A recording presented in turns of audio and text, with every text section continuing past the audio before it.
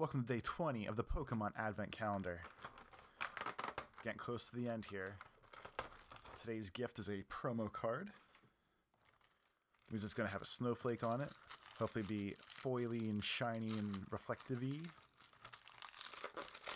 And today's card is a Snom. And now I realize that that's a Snom.